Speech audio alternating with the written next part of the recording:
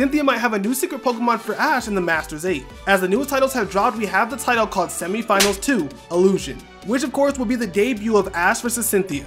But what does illusion mean? What is it hinting to? Could it possibly mean Spiritomb? Or an illusion linked to Ash? Maybe the coma theory is right. Nonetheless, the coolest way to show off illusion would be to give Cynthia a brand new Pokemon. So how about Hisuian Zoroark?